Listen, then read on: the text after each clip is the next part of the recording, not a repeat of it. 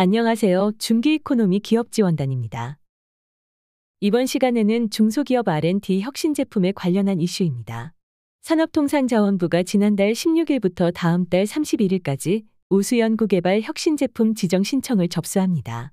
연구개발로 사업화에 성공한 중소기업의 혁신성 있는 제품이 공공 조달 시장에 쉽고 빠르게 진출할 수 있도록 지원하자는 취지입니다.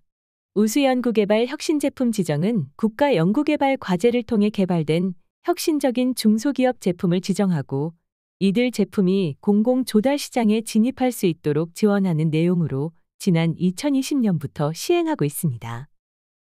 혁신 제품 제조기업은 중앙부처, 지자체, 공공기관 등과 3년간 수의계약을 체결할 수 있으며 지정된 혁신 제품은 혁신 제품 종합 포털인 혁신장터에 등록됩니다.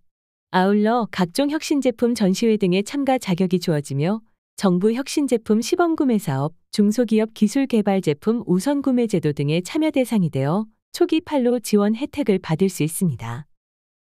이번 공고는 종료 연도 기준 최근 5년 이내 산업부 R&D 과제를 성공적으로 완료하고 제품으로 사업화한 중소기업이라면 누구나 신청이 가능합니다.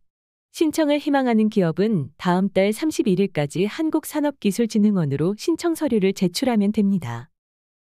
지금까지 중기이코노미 기업지원단이었습니다. 감사합니다.